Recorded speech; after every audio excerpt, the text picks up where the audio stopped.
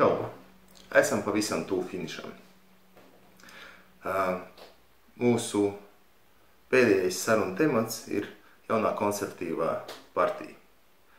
Jaunā konservatīvā, manuprāt, ir partija, kas ir izteikti iekšējās lietošanas partija. Ko tas nozīmē?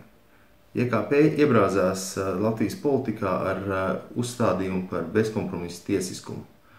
Tūlītās liksim pie sienas visus, visus sliktos, tūlītās visi korupcijas perēkļi tiks iznīdēti un, un, un, un, un varēsim laimēt iet.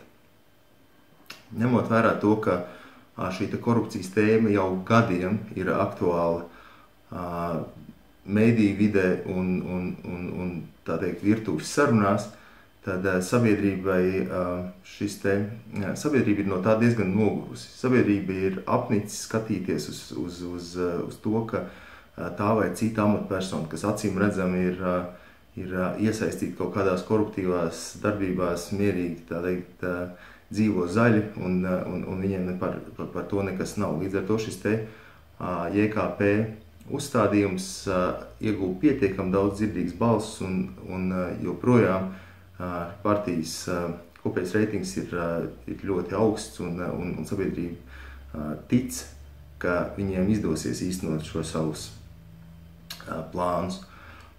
Tomēr attiecībā uz Eiropas Savienību tas īsti nedarbojas. Mēs neko daudz nezinām par korupciju Eiropas Savienībā. Mēs, ja arī zinām, tad, tad īstenībā tas mūs baigi neuztrauc un, un, un ja arī mūs tas uh, uztrauc, tad, tad ne jau mūsu deputāti būs tie, kas ies un tās nezāles izravēs. Līdz ar to uh, šis uh, JKP zirdziņš īsti nedarbojās. Austrumēropas pētījuma direktors Andris Kudors, kurš ir pirmais numurs JKP sarakstā, galīgi neatgādina tādu klasisko JKP lokomotīvu. Viņš ir tāds mierīgs lāčuks, kas runā par konservatīvām vērtībām un, un, un, un, un, un tēmām, kuras viņa elektorātu maz uztrauc. Domāju, ka JKP vēlētāji arī īsti neuztrauc, kas aizbrauks uz to Briseli.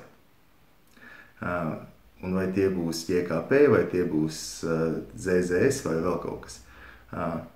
Viņus uztrauc tās lietas, kas notiek šeit, šobrīd, Latvijā. Līdz ar to uh, mana prognoze, ka JKP uh, 5% barjeru nepārvarēs.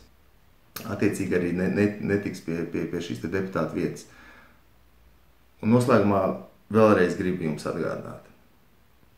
Ejiet uz vēlēšanām. Eiropas parlaments ir mūsu parlaments. Tas, kādus cilvēkus mēs turien aizsūtīsim, noteiks tas, cik kvalitīvs būs Latvijas pienesums kopējo Eiropas interešu stiprināšanā. Tas noteiks to, cik kvalitatīvi viņi varēs pārstāvēt Latvijas intereses Eiropas parlamentā. 80% no Latvijas likumiem tiek pieņemti Eiropā. Ja mēs to neietekmējam, tad tie var tikt pieņemti uh, citu valstu interesēs, lielo valstu interesēs, uh, kaimiņu valstu interesēs, bet ne mūsējās. Mums ir vajadzīgi spēcīgi deputāti Eiropas parlamentā.